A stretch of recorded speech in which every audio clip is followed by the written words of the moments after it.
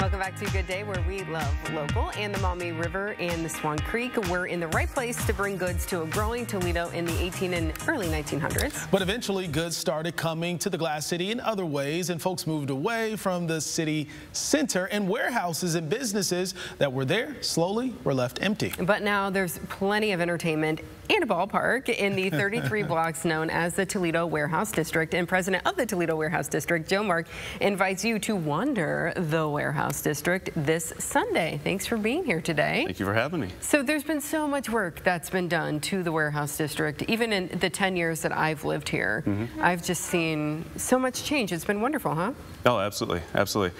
Uh, Warehouse District was formed, well, I mean, it existed mm -hmm. for over 100 years. Uh, as an association, it formed in 1987, and there were six residents at the time.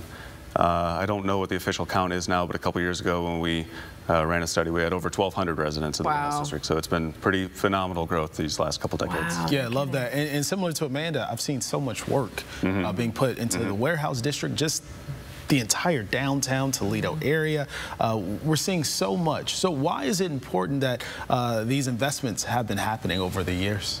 Uh, it's it's been important because it's uh, allowing us to save buildings that uh, there's so much value in the mm -hmm. structure itself. Um, the the quality construction was yeah. unbelievable back then, mm -hmm. um, and if you don't take care of them, they they will eventually they won't survive forever. Mm -hmm. uh, um, so it's helpful to have that investment going on so we can save these things that become real identifiers, real landmarks. So the, the architecture itself mm -hmm. uh, becomes, you know, people identify, there's me on there. Uh, you spotted yourself.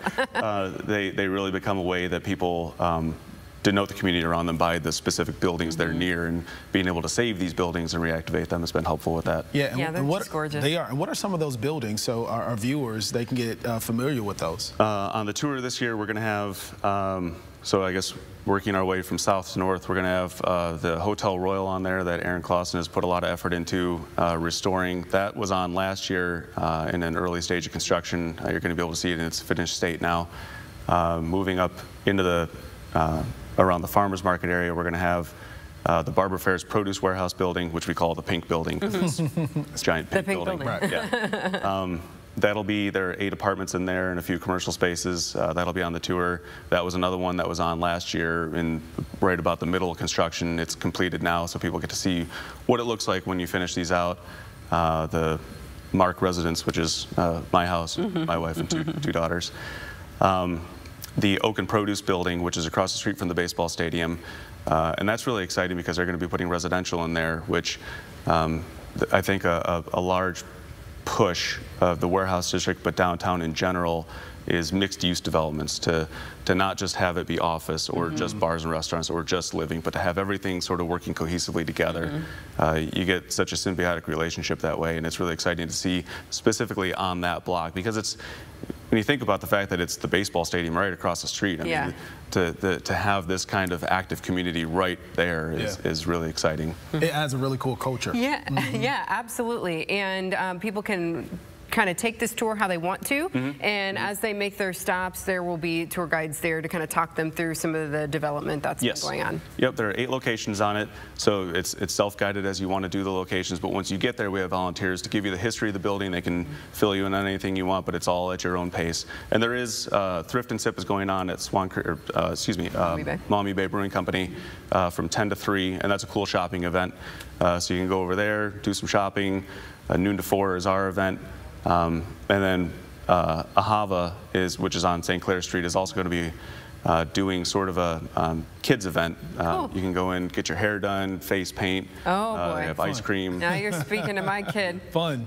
and a little bit of a preview that just a block down St. Clair from there, uh, NHA is working on um, an apothecary. It'll be like an old world hmm. uh, malt shop that's also a pharmacy and uh, so it'll be oh, really fun. exciting that they're they're not quite done there, but they're getting close, and you can get in to see a preview of that. Yeah. Oh, very and, cool. And, why do you guys want people to do this this particular? And come look at your house. Mm. Yeah. well, uh, really, uh, when they started doing this 20 years ago, it was. I mean, if you put yourself in that time frame, the baseball stadium had just opened. Mm -hmm. The mm-hmm. Bartley lofts were still in construction. They had a few mm done. They had a long way to go. So they're they're really to the to the general public around Toledo didn't really know a whole lot about what was happening downtown. So this was seen as a way to advocate for the neighborhood to help uh, the rest of Toledo see that there's a lot happening here. We've been fortunate that over the last 20 years, we don't really need to do that anymore. Mm -hmm. Everybody's pretty well aware mm -hmm. that downtown has a lot going on.